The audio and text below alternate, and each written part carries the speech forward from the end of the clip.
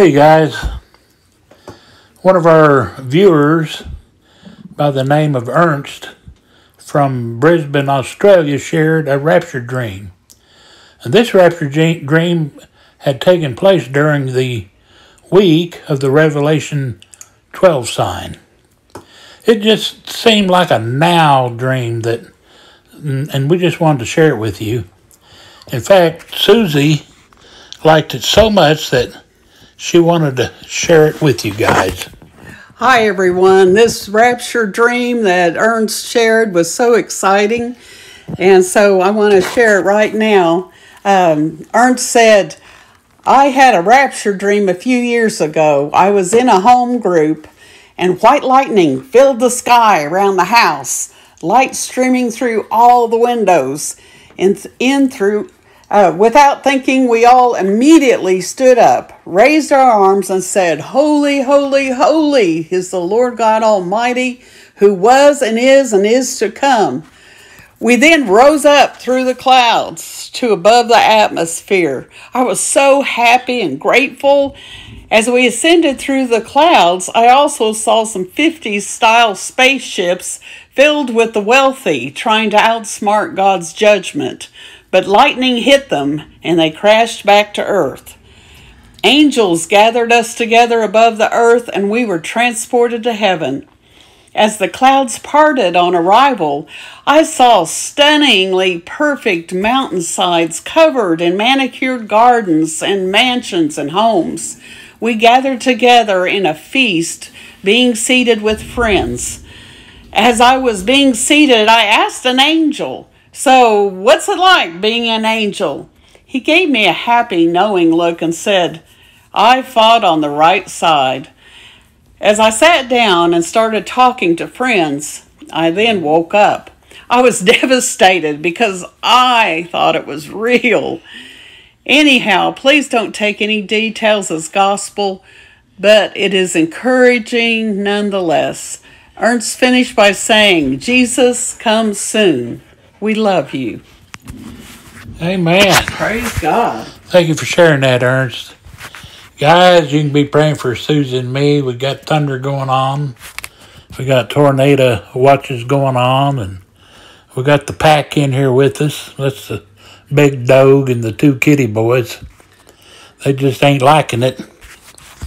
But guys, we're going to make a video anyway. Hallelujah. We're going to try to have a communion video out Sunday. The, I think it's the 6th. And Susie may have a message, uh, Lord willing. That's providing the rapture doesn't happen and we're physically able. Amen? Amen. But, uh, guys, I, I like the part uh, concerning the mention of alien spaceships in uh, Ernst's rapture dream because we all know that Satan will use that kind of deception to deceive the masses from believing a God ordained rapture had taken place. And we've heard mention of some of the wealthy going up in spacecrafts, you know, I mean.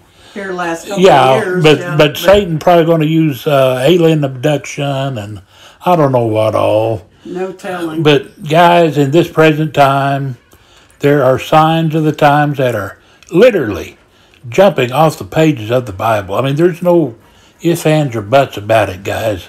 Amen. There are wars and rumors of war taking place. There are earthquakes and all kinds of worldwide turmoil going on everywhere and all at the same time. Yes. Guys, it, how much more proof do we need? Amen.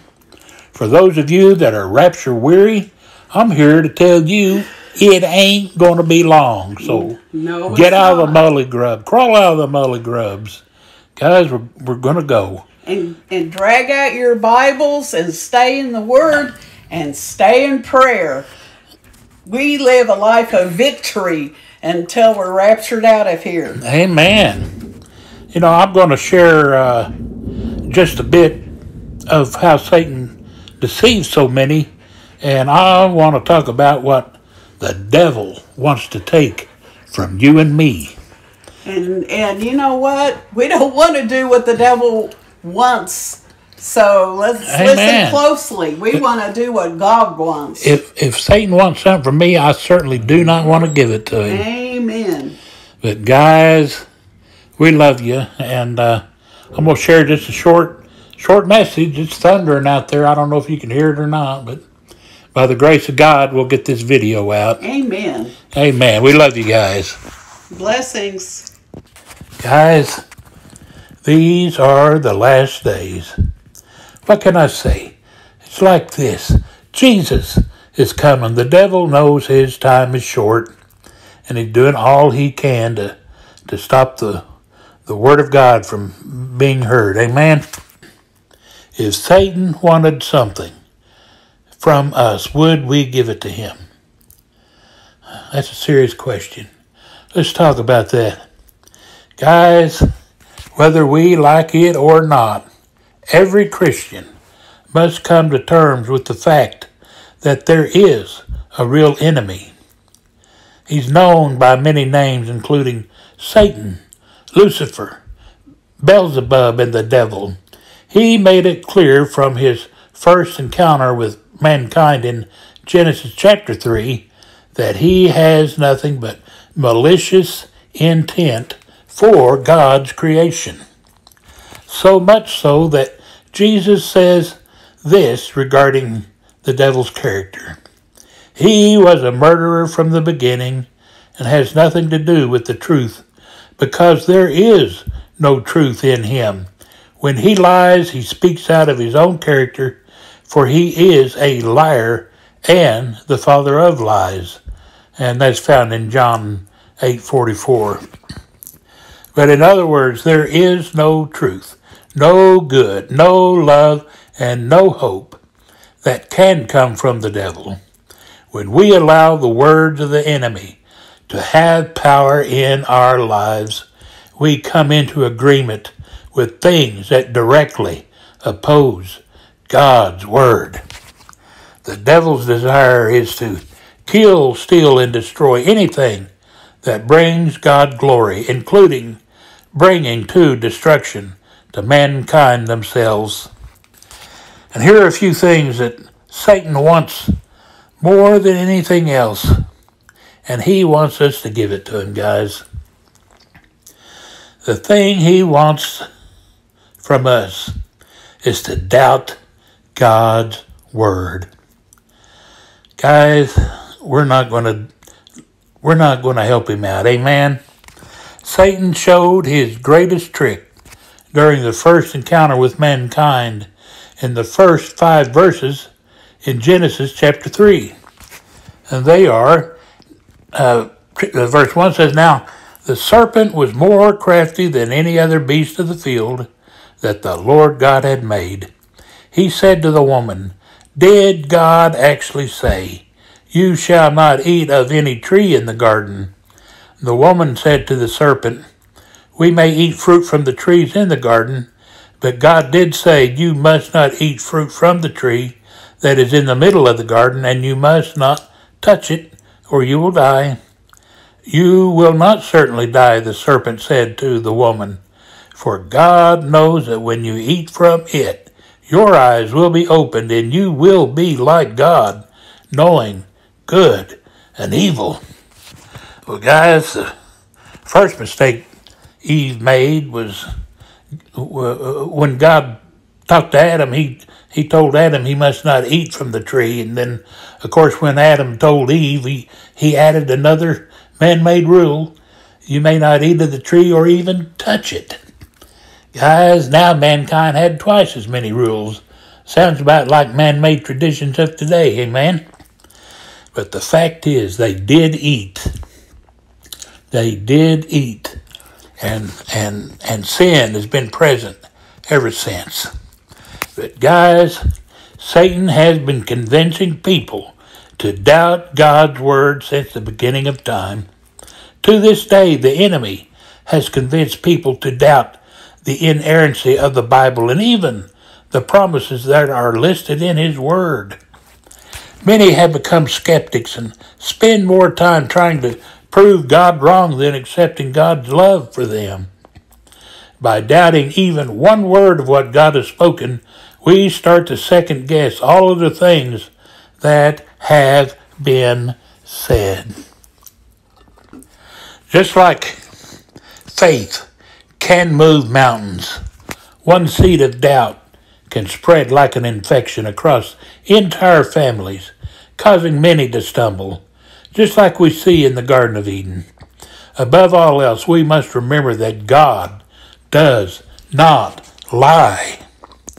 In uh, Numbers 23, verse 19, it says, God is not human that he should lie, not a human being that he should change his mind. Does he speak and then not act? Does he promise and not fulfill. Guys, God does not lie. Another thing Satan wants from us is, is to allow us to allow him to paralyze us with fear. Are we going to give it to him? Prayerfully not. But there are many that struggle with extreme fear and panic attacks at the slightest scare. I believe it's safe to say that fear can keep one's eyes on things that are immediate and not on God. How do I know? Because I've been there and done that. Guys, if our lives have become riddled with fear, we will find that we are consumed with the what ifs of life. Guys, we can soon become so focused on what we can and cannot control versus putting complete faith in God.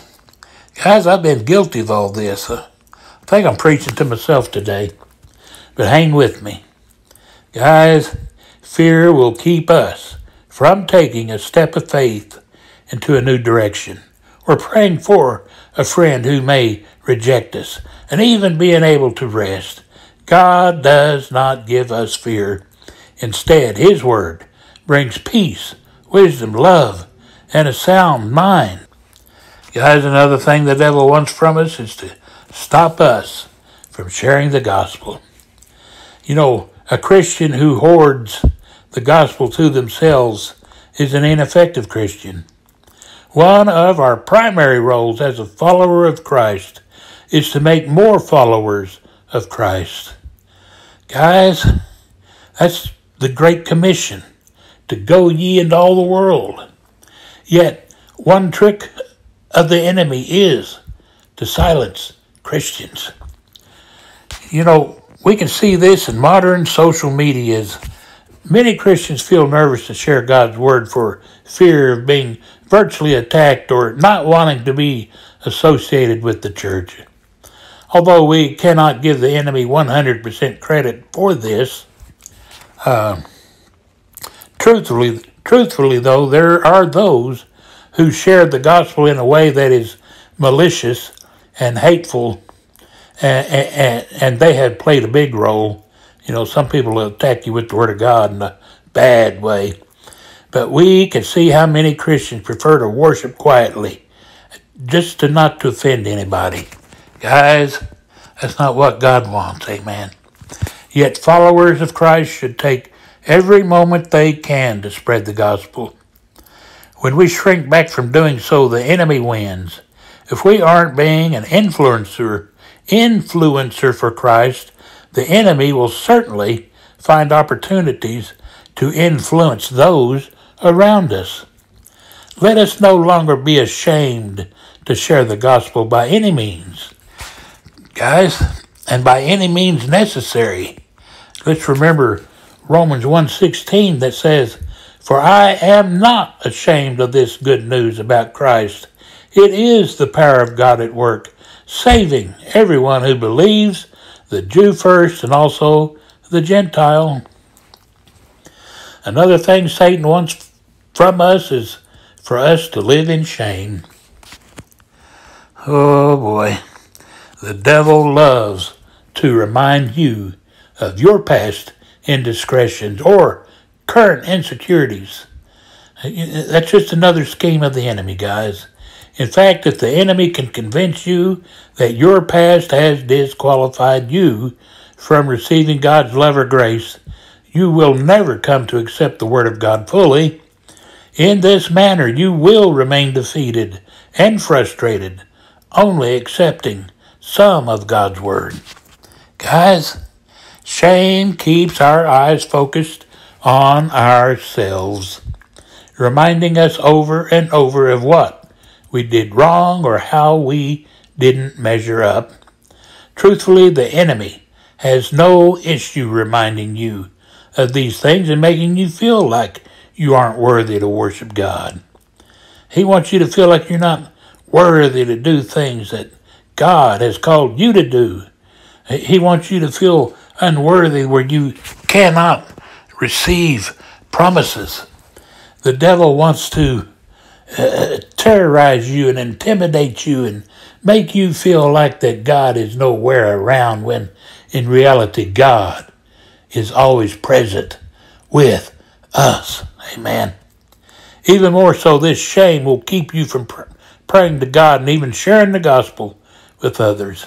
If the enemy can keep us in our self pity, I'm preaching to myself.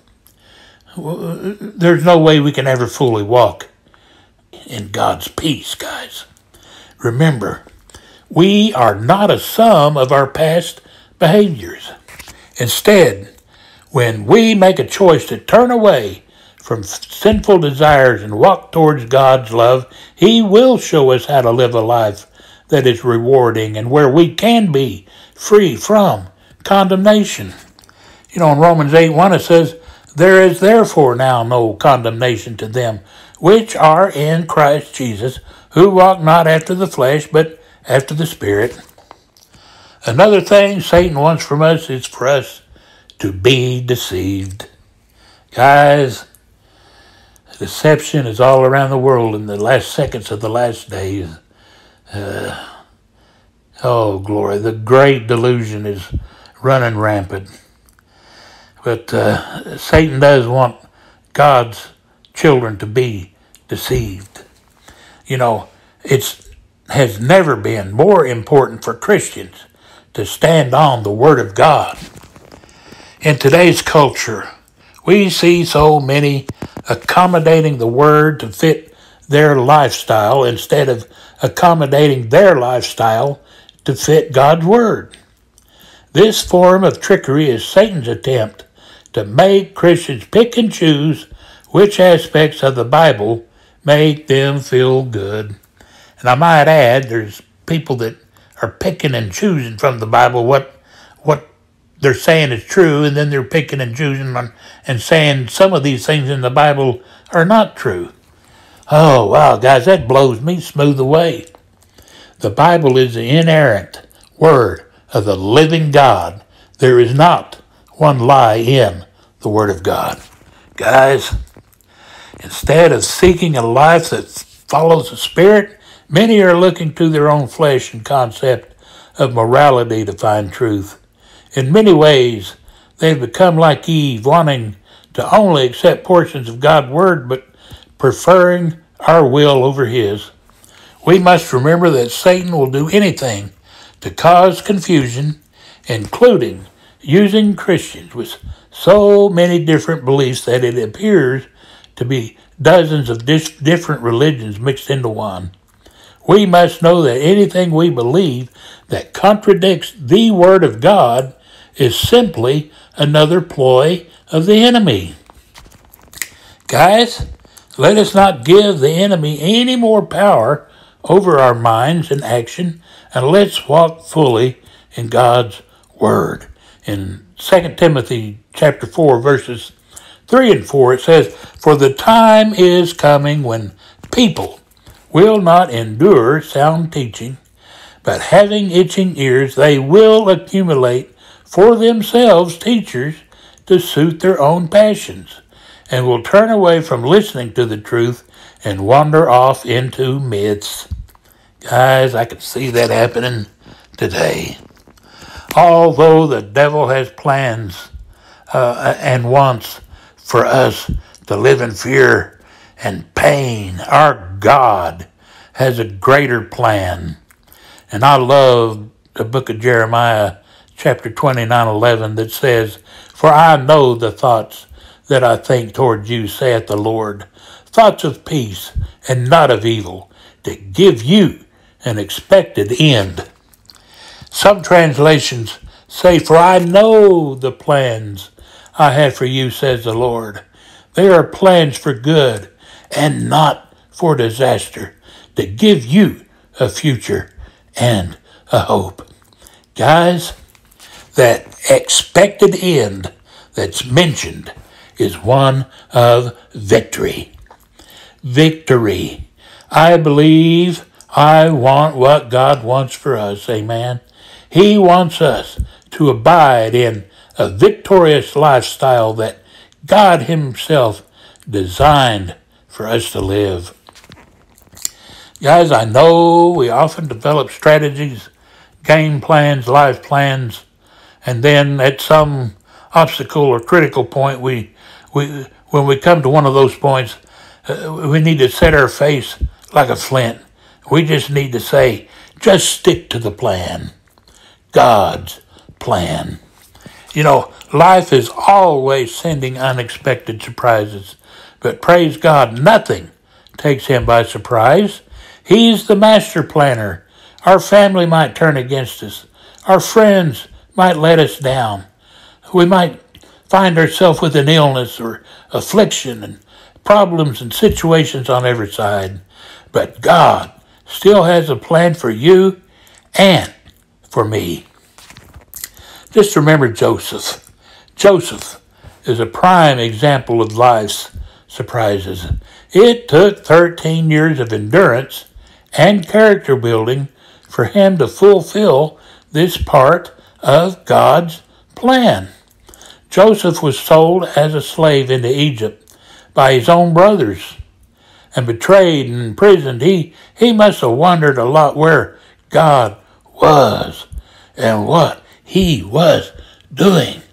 I know for a fact many are feeling that they cannot feel the presence of God.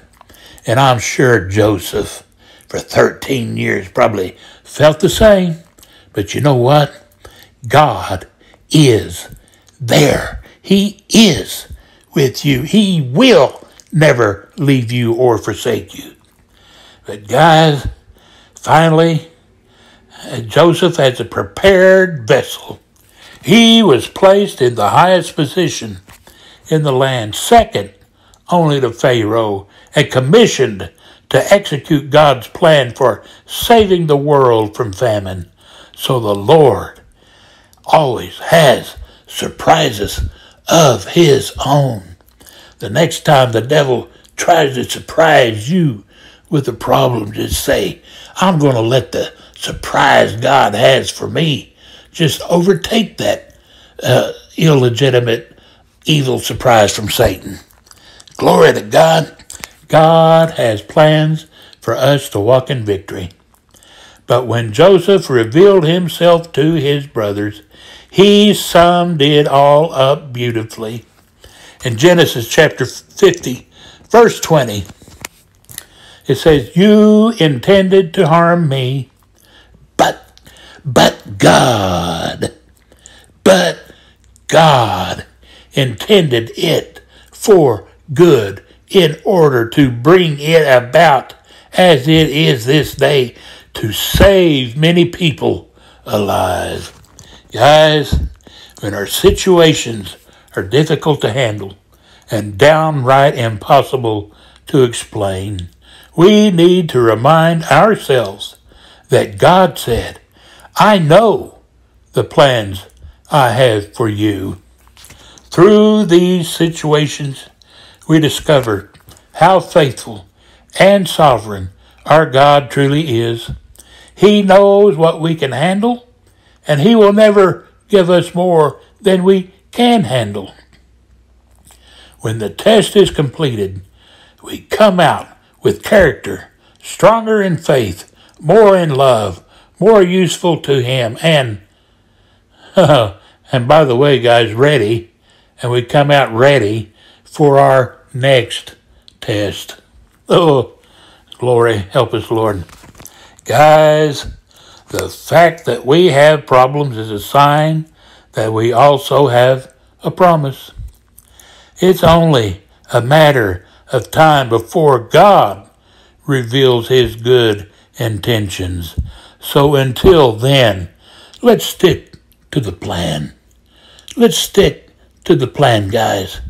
And I am referring to God's plan. Let's remain Jesus strong. Guys, just look around you. The world is falling apart, but it's actually God's plans falling together. We're getting ready to rapture out of this place. We're getting ready to rapture out. Jesus is getting ready to step down on a cloud and give the very clear command to come up hither. Guys, let's keep walking in victory. If we feel defeated, by faith, let's rise up and see ourselves already on the other side as victorious champions for Christ.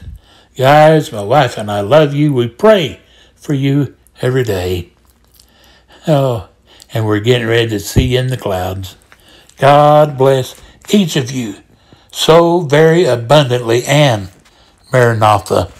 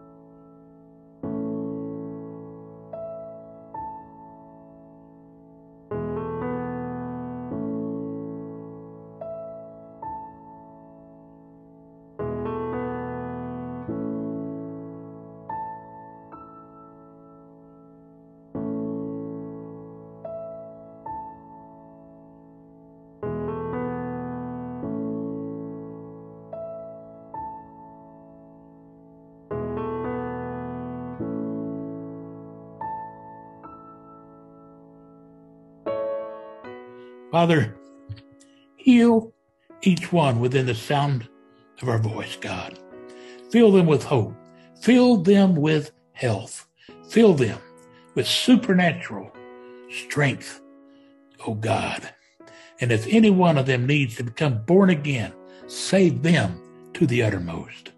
Lord, when we are weak and weary, help us to remember from where our hope truly comes by your grace, keep us from misplacing our faith in worldly things for support.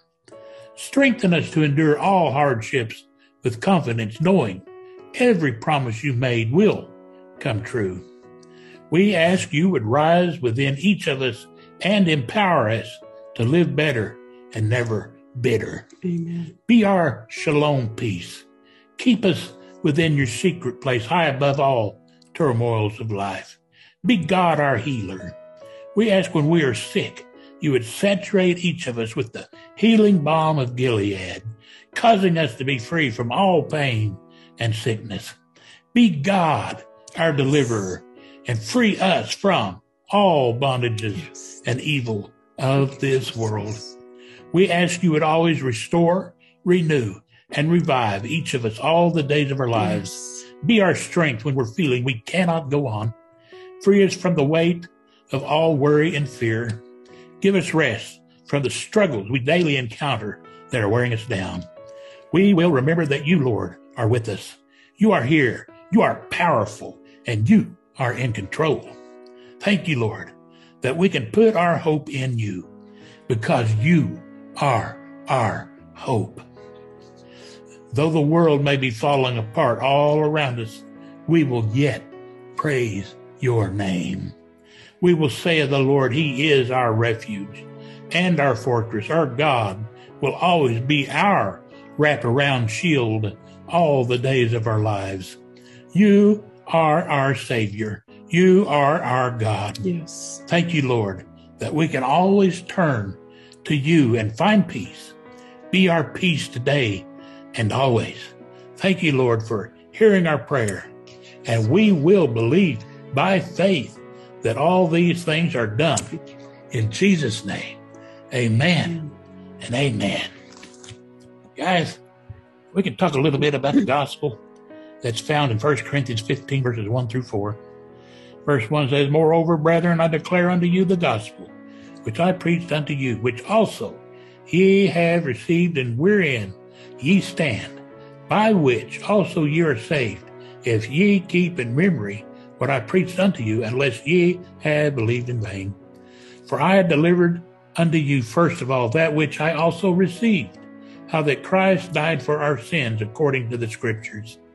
Verse 4 says, And that he was buried, and that he rose again the third day according to the scriptures. Amen. Guys, those are shouting words. Yes, they are.